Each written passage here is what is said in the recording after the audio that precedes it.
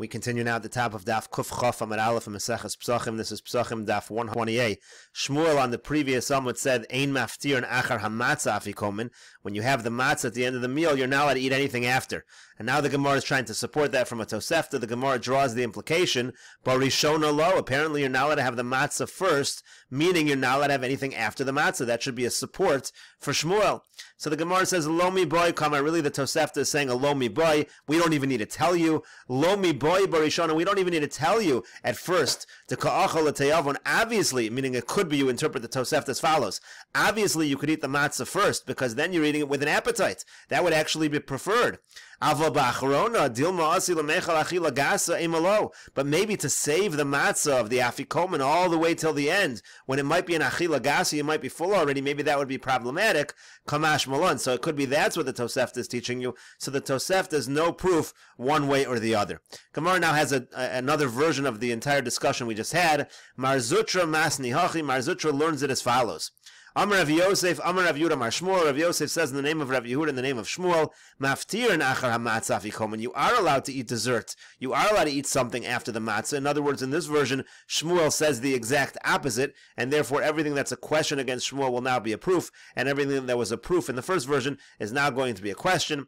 So the Gemara says, Name a Messiah, let's bring a support as follows. It says in our Mishnah, Ein maftir achar ha-pesach afikoman. It says you're not allowed to eat anything after Korban Pesach. Achar ha-pesach delo. So it sounds like from our Mishnah, after Korban Pesach you can't eat anything. Aval achar matzah maftirin. But when it comes to, to matzah, you are allowed to, to eat things after. That would be a support for what Shmuel just said.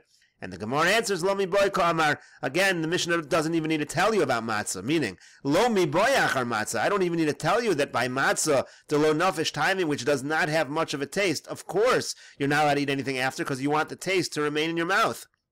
But when it comes to Korban Pesach, maybe I, I would say I could eat something afterwards because the taste is going to remain in my mouth anyhow. It has a strong taste. Kamash Malon. So maybe what the Mishnah is saying is even when it comes to Korban Pesach, you can't have something after. Meisvei, now the Gemara asks a question on Shmuel. Hasuf Gonin, Vahaduv Shonin, Veskaritin. Again, you have the sponge like matzah, the sweet matzah, you have the wafer, kreso. It says you can eat as much as you want of it, but make sure you have the matzah, what we call the afikoman. Make sure you have that last. Don't have anything after. Ba'achrona in lo. Again, it sounds like you have to have it last. You can't have anything after the matzah. This would be a question against Shmuel, who says you could. So the Gemara answers again, Lomi boy kamar, it's saying you don't even need to tell me that. Lomi boy barishona dekachel Obviously, you could have the matzah first and have other things afterwards, because then you're eating the matzah with an appetite. Avo ba'achrona, but to eat it at the very end, dasi lemechla achila gasa. I might think that it's going to be considered an achila gasa. Maybe that would be more of a problem. Kamash malo, and that's why it's teaching you. The Tosefta is teaching you it is not a problem. And the Gemara continues at the two dots. Amar Rava, Rava says, Matzah bezman hazeh do Matzah nowadays, when we don't have korban Pesach, is still do raisa. Umorer derabanan. But morer, without a korban Pesach, morer becomes only a mitzvah midirabanan. But one second, what's the difference? By marer, what does the pasuk say? It says you eat the korban pesach with matzah and marer, and we darshan bisman deika pesach yesh marer, uvisman de leka pesach leka marer. We darshan that when there is a korban pesach, there's a mitzvah doraisa to have marer. And when there's no korban Pesach, then there's no mitzvah doraisa to have marer. But you can make the same drasha by matzah. Matzah nami, when it comes to matzah as well, Haksiv al matzos umarorim. Again, the pasuk says al matzos umarorim, so it should only be when there's a korban pesach. There's a mitzvah dorais of matzah. So to that, the Gemara answers matzah mahader hadr bekra. By matzah, there's another pasuk. It repeats the obligation to tell you even when there is no korban pesach, because the pasuk says bo erev tochlu matzos. In the evening, uh, that's the first night of Pesach. You're supposed to eat matzah. For Rav Acha Bar Yaakov Amr, but Rav Acha Bar Yaakov says Echad Zeh v'Echad Zeh. It doesn't matter by both of them. Derabanan. It's derabanan in both cases. Even matzah bisman azez derabanan. Elo tochlu matzah. So the Gemara asks against Rav Acha Bar Yaakov, doesn't the pasuk say in the evening you should eat matzah? Doesn't that indicate it's a mitzvah doraisa, even if there's no korban pesach? And the Gemara answers, Ahimi boile That pasuk is telling you that even somebody who's tame, or even somebody who's far away, and for those reasons he cannot bring korban pesach, he's going to be bringing pesach sheni, but still that person has an obligation in matzah. The Salgadai Chamina came in the Pesach lo achli mar nami lo nechel. I might have thought since a person who's tamei or far away, he's not going to have korban Pesach. Maybe he doesn't have the obligation of matzah and more as well. Kamash Malon, the pasuk tells you, but erev tochlu matzos, there's still an obligation of matzah.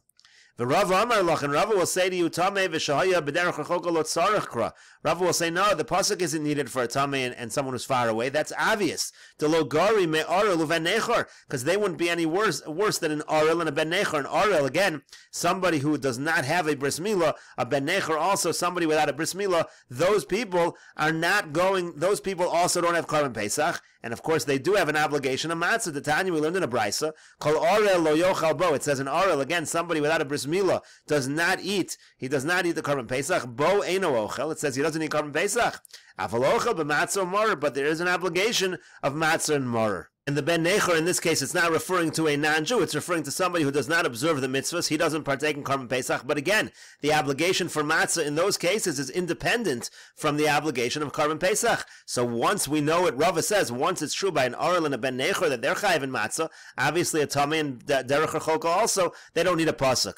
But the other one says back, no, Rav Acha Bar Yaakov says back, ksiv b'hai, ksiv b'hai, you do need psukim by both. In other words, bo'erev tochlu matzos is needed by the case, because we we need an additional pasuk by the case of Tameh and, and Derech Achoka, utzrichi, you need to have both of them. And the Rashbam over here explains, You can't learn out that a Tameh or somebody far away, those individuals who don't bring Korban Pesach, you can't learn those out from Arlen ben sheni, because when it comes to a Tameh or a derech rechoka, they have a tashlumin. They're going to be bring, they're going to be bringing Korban Pesach sheni. Hilkach lo yochal matzah barishon yasa pesach sheni. You might have thought that they don't have to eat matzah and Pesach rishon because they're going to be doing Pesach sheni. V'yakayim al matzah sumurorim yochlu then they'll do the matzahs and merorim on Pesach Sheni. Avalor ben Necher dinu sheyochlu matzah barishon. But by Orl and ben Necher, you would say that's different. Of course, they have to eat matzah barishon to achli b'sheni because they're not going to be involved in Pesach Sheni. So that's why, according to Rav Acha Bar Yaakov, both psukim are needed, and therefore we don't have a pasuk to tell us that matzah is doraisa when there's no korban Pesach. The Gemara says, Tanya Kivase de Rava, we have a brisa like Rava, that matzah is going to be a doraisa even when there is no korban Pesach. The pasuk says Sheshas Yomim Tochal Matzah Uvayom Hashvi Atzeres LaShem Elokecha. It says six days you eat matzah, and then it, it specifies uh, the, the seventh day. So we say mashvi rishus, just like the seventh day is a rishus. It's not an obligation to eat matzah on the second on the seventh day. Av sheishas yamim rishus. So to all six days are really rishus. There's no obligation to eat matzah.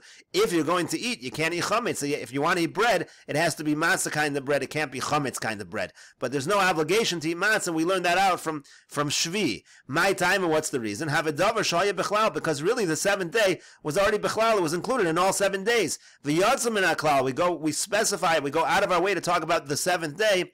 Lalamed, that comes to teach us something. And lo lalamed alatzmo yatz, it's not just coming to teach about itself. El lalamed al aklal kulo yatz, it's teaching about all seven days. There is no obligation to eat matzah on those days. As the Rashbam over here explains, Shvi Rishus Techsivu Vayom Hashvi Atzeres V'lo Ksiv Tocha Matzos. It doesn't say you have to eat matzah on Yom Hashvi. Sharei Hotziu Minachlal. It's being excluded from all the rest of the days. Av Sheshas Yavim Rishus Shemratz Alechol Basar below Lechem on the other six days as well. If you want to eat meat without bread, Olehisano, so you want to fast, or Rishus Biyado, he's allowed to. Have a Dover Shoy Bechlal Techsiv Shivas Yavim Tocha Matzos. In other words, it talks about eating matzah all seven days. Now we exclude the seventh day to say that day is a Rishus. But not just to teach only about that day. All seven days really, they're all going to be Rishus. This is one of the Yud Gimel Midas. This is one of the ways that we darsh in the Torah. So you see from there that all seven days are a Rishus, but then the Brisa concludes, Rishus. I might think even the first night of Pesach is also Rishus. Talmud Lomer al matzah umarorim yochlu. It says al matzah umarorim yochlu. When you have korban pesach, you have to have it with matzah and maror, and therefore we have korban pesach on the first night. Matzah becomes a doraisa on the first night, and here's the part that follows Rava. Ein liela bizman shebeis hamikdash kayim. I only know that's true when there's a beis hamikdash. Bizman she'ein beis hamikdash kayim minayin. How do I know there's an obligation to have matzah even when there is no beis hamikdash, even when there is no korban pesach? Talmud Shneimar bo erev tochlu matzos hakosav kavu chova. Pasuk says in the evening, the first night of Pesach, you have to eat matzah. It is indeed an obligation.